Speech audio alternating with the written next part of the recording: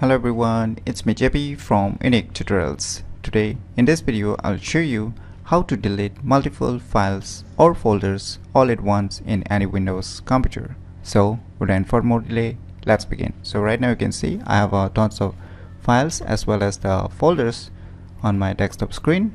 So here I'm gonna show you two methods how you can delete multiple files or folders all at once. So for the first method, what you can do is on your computer keyboard, just press Ctrl and A in order to select all the files and folders. And now on your computer keyboard, you can just press Delete in order to delete these files and folders all at once. So what about if I want to delete only some folders or files from here, then you can do one thing, just press and hold the control key on your computer keyboard and just left click on the respective folder or file in order to select it. Say I want to delete this this and this. And after manually selecting some folders and files you can just press delete again in order to delete all at once. So for the second method we're gonna use a command prompt program. So firstly just open the command prompt program and in the command prompt you need to put the folder or file path locations. So if your folder and files are in the desktop you can do one thing. Just type cd and just type desktop. If you just want to select it from the desktop and hit enter so your desktop folder path location is being added directly. Now you can delete folders and files from here. So for this what you need to type say you want to delete the folders then just type rd that is remove directory hit space and put the folder names one by one.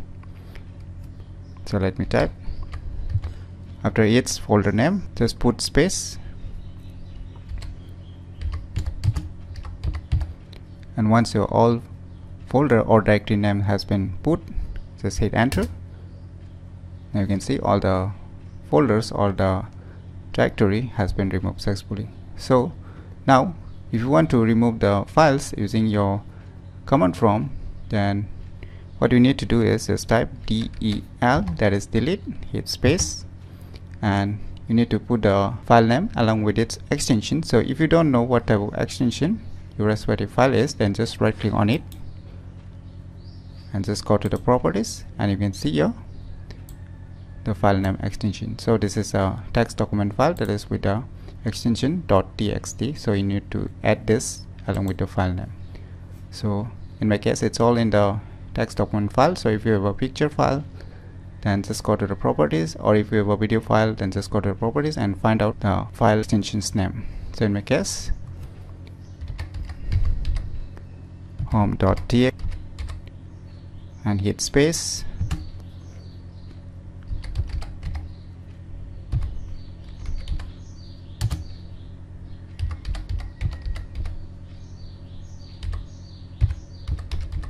so once your all the file names have been put just hit enter.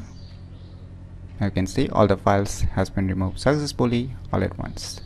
So what about if your folders or files are in respective drive or folder then for this purpose in order to delete with command prompt you can do one thing. Just click on this box and just type cmd and hit enter. Now it will directly add your folder path locations to your command prompt.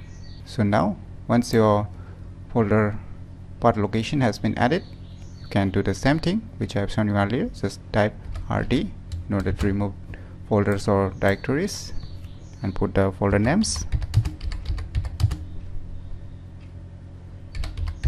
And hit enter. You can see all the folder has been removed successfully. So using these methods you can easily delete multiple files or folders all at once in any Windows computer very easily. So if you never known about these cool tricks then you should definitely give it a try. So if you find this video tutorial useful please click on the thumbs like button and if you're new to our channel click on the subscribe button and lastly thanks for watching.